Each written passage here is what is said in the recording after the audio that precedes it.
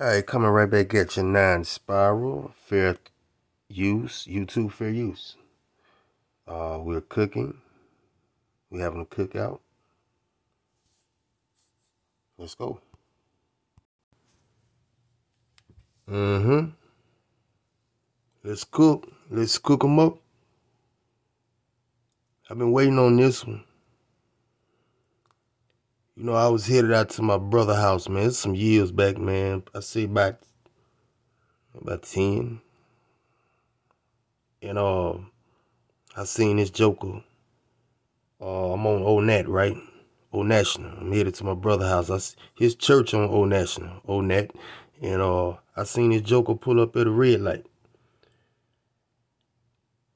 In a Bentley. Bumping Anita Baker. And looked at me and threw up his head. I turned the other way. Let's cook. Mm-hmm. Chapter 53. Isaiah chapter 53. I've been waiting on your ass, boy. I pray, I pray you'll never be the same again. I please don't let these little motion pictures fool you to make you think it wasn't all that that he went through. Come on with it, Do you understand? I mean, how would you like your flesh ripped open? When they were finished, it looked like raw hamburger meat. Come on, Mr. Dollar. It wasn't just some whips on his back. Can we get to it? These stripes that came and ripped his flesh, tore his flesh off. My goodness. Why would he allow himself to go through this brutality? In verse 53, Come on, man. verse 4, All right. Well, I want to read verse 3 because this is the oppression part. He was despised and rejected matter. of men. You do your a man of thing. sorrow, You acquainted with grief. thing. And we hid, as it were, our faces from him. He was despised, and we esteemed him not. Surely he hath borne our griefs. Underline our griefs. It wasn't his, it was ours. Mm-hmm. Surely he hath borne our griefs right, and right. carried, underline, our sorrows. Not his, but ours. So the first thing that tells you is he didn't do this for him. Yet we, we did esteem him stricken, smitten of God, and afflicted. Okay. But, I, but why'd you do it? Why'd you do it? Why were you so brutalized? But he was wounded for our transgressions, and he was bruised for our iniquities, and the chastisement of our peace was upon him. All right, stop right there, Mr. Dollar, because you got a problem here, right? We got a few problems. And I'm going to tell you why we got a problem, but I'm going to bring you some help. And we going to deal with this blood. Matter of fact, let's deal with this blood right now. we going to deal with the blood, right? Leviticus 18:21. And you shall not let any of your descendants pass through the fire to Moloch, nor shall you profane the name of the Most High. Hawah. I am the Most High. So you see, Mr. Dollar, the Most High ain't with blood sacrifice. Hmm? brutal treatment that was dished out to Jesus. He was so battered it couldn't easily be recognized. The, the scripture says in Isaiah 52 14, as many were astonished at him because his image was so marred. And Isaiah 52 4,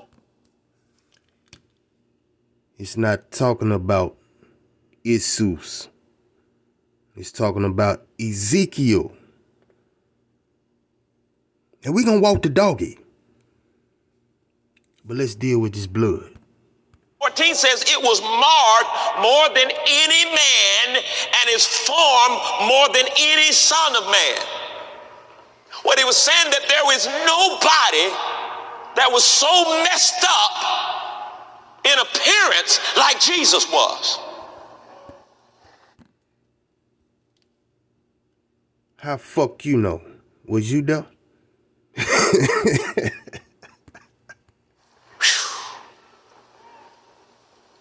this was the first major point through which the blood of Jesus flowed out.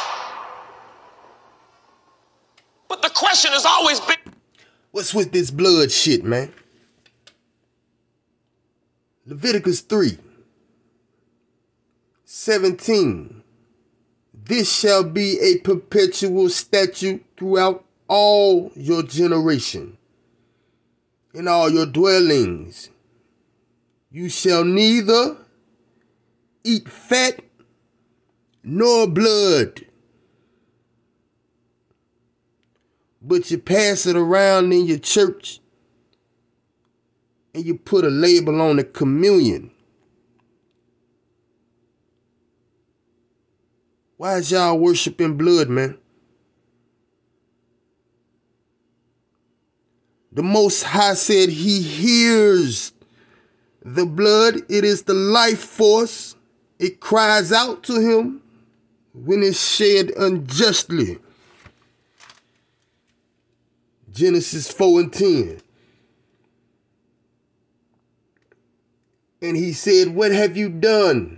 The voice of your brother's blood cries out to me, even from the ground.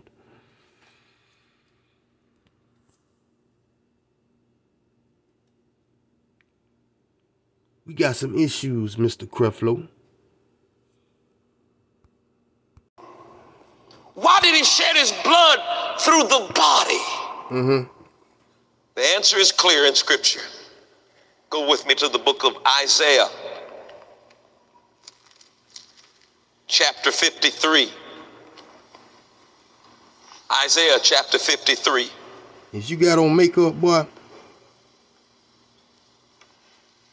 I pray, I pray you'll never be the same again. Man, come I, on, man, with this dramatic please don't let shit. these little motion pictures fool you Get to it, man. to make you think it wasn't all that that he went through. Cause you got some problems. Do you understand? I mean, how would you like your flesh ripped open?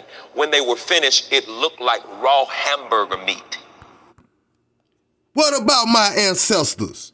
Huh? What about the lynching and hanging?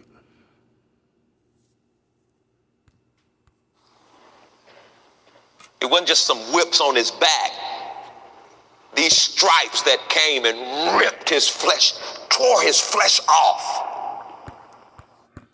Who bore the sins of Israel? Huh?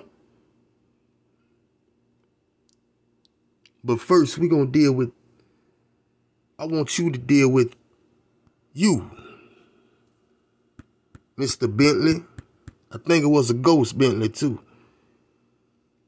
I want you to deal with Hosea chapter 3, verse 4 and 5, right? For the children of Israel shall abide many days without king or prince, without sacrifice. So don't tell me nobody was sacrificed for me.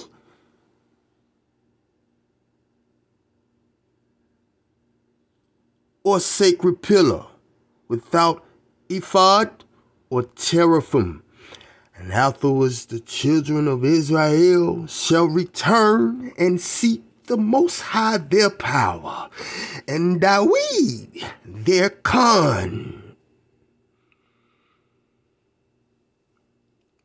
And they shall fear, show reverence to the Most High and His goodness in the latter days.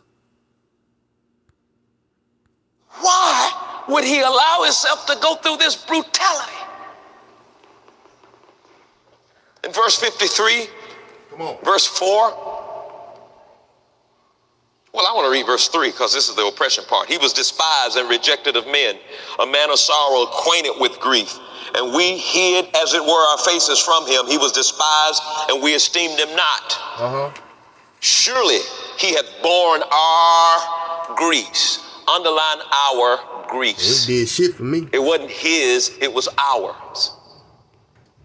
Surely he hath borne our griefs Paul. and carried. un- Say hey to the people.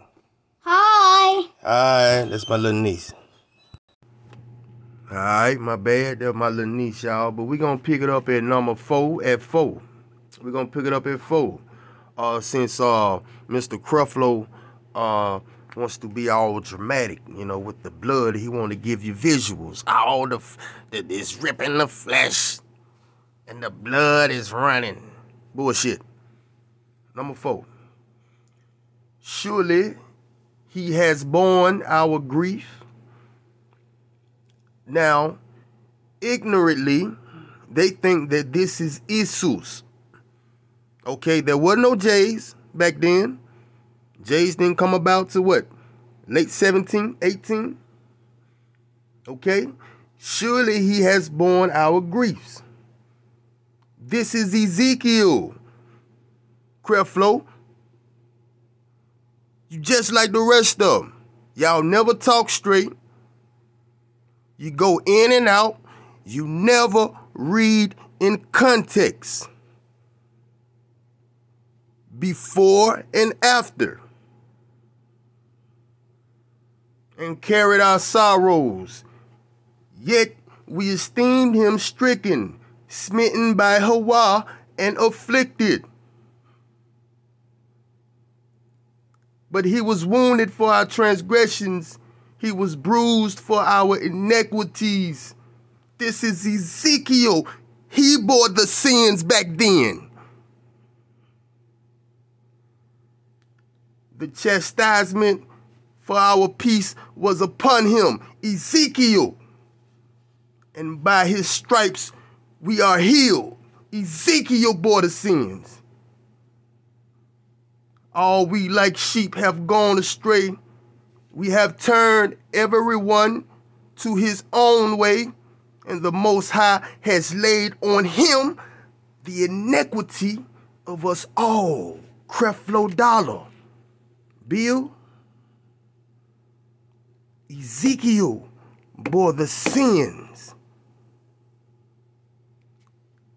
Here, right here back then. We gonna prove it.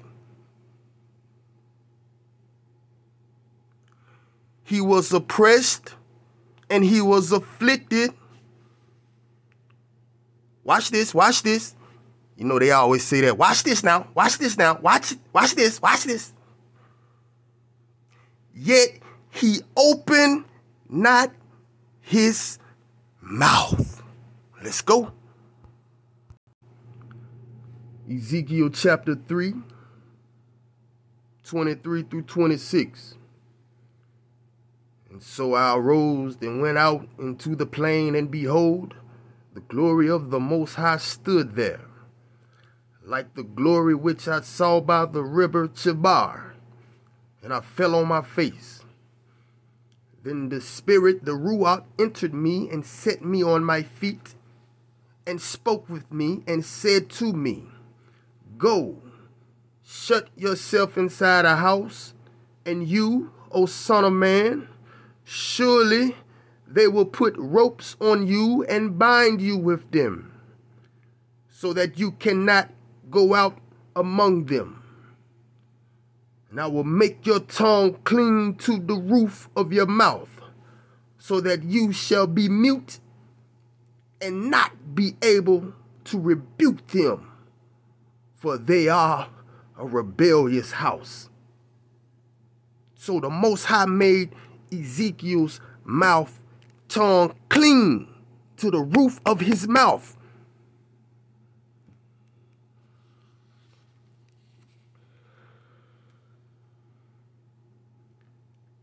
Isaiah 53, 7. He was oppressed and he was afflicted, yet he opened not his mouth. He was led as a lamb to the slaughter.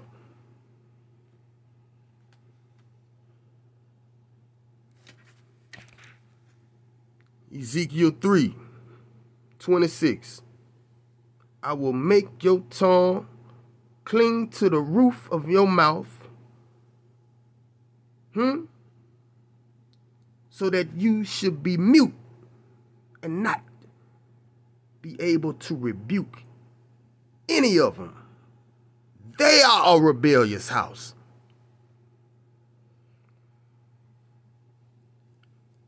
Ezekiel chapter 4, verse 4 through 6. Let's get it. Lie also on your left side, and lay the iniquity of the house of Israel upon it, according to the number of the days that you lie on it. You shall bear their iniquity. Hmm? Verse 5 For I have laid on you the years of their iniquity, according to the number of the days, 390 days.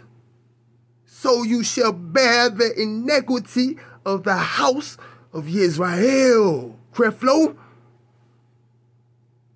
But the Most High one finished with him. Put some respect on Ezekiel. And when you have completed them, lie again on your right side, then you shall bear the iniquity of the house of Judah forty days. I have laid on you a day for each year. Hmm? And he, he said something in his book to really make it a lot clearer so you can understand exactly what happened here. He emphasized, instead of ours, he said mine. Mine. He took my griefs and my sorrows. Say that. He took my griefs and he took my sorrows a translation for the word griefs here is pains. Mr. Creflo, I got a question for you. Is not Israel referred to as the Most High's firstborn son? Huh?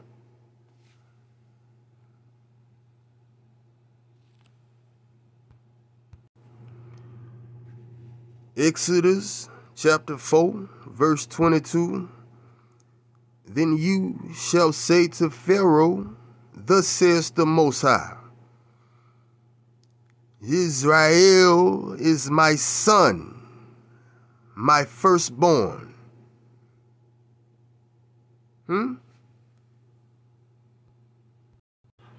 So you see, Creflo, it couldn't be Isus or whoever you want it to be who died on the cross because, well, let's just get it. Matthew 27, verse 46. And about the ninth hour, Jesus cried out with a loud voice, saying,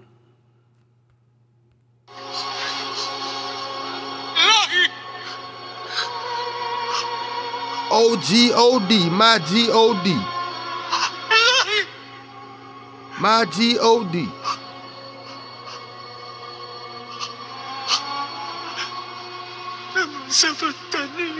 Why hast thou forsaken me? No, he can't be the guy. Uh-uh, nah.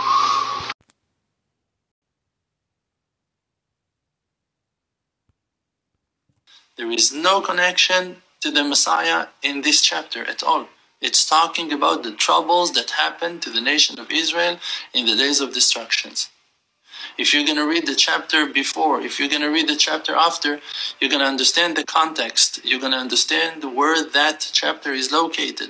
But because that someone hundreds of years ago or even 1500 years ago claimed that that verse, that that chapter is talking about Jesus, it became like a known thing that now that chapter is the evidence for the Messiah.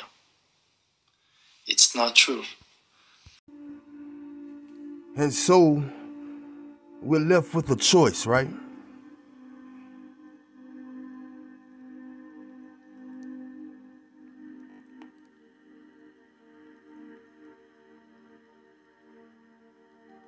Deuteronomy 30, verse 11 through 20.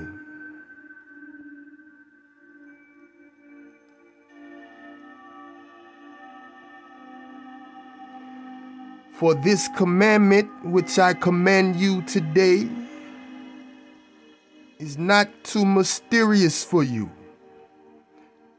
nor is it far off. It is not in heaven that you should say, Who will ascend into Shamaim for us and bring it to us? that we may hear it and do it. Nor is it beyond the sea that you should say, Who will go over the sea for us and bring it to us, that we may hear it and do it?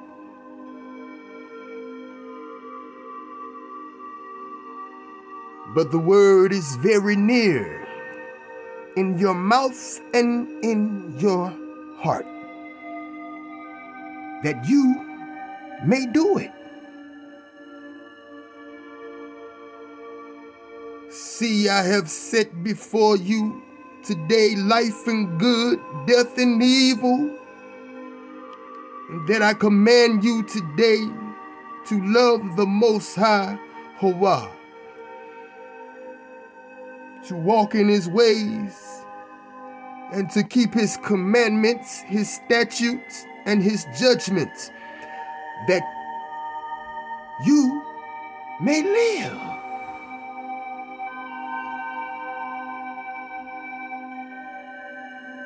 And multiply, and the Most High, your power, will bless you in the land which you go to possess. But if your heart turns away so that you do not hear and are drawn away to worship other gods and serve them, I announce to you today that you shall surely perish. You shall not prolong your days in the land which you cross over the Jordan, the Jordan, the Colorado River to go and possess. I call Shamaim and earth as a witness today against you, Moshe says, that I have set before you life and death, blessing and cursing. Therefore, choose life.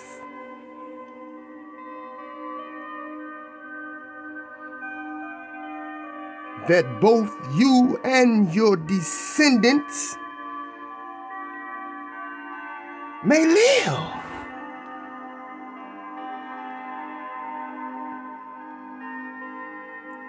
that you may love the Most High your power, that you may obey his voice, and that you may cling to him, for he is your life.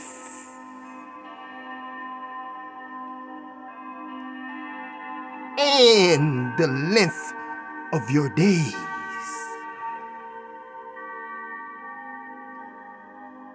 and that you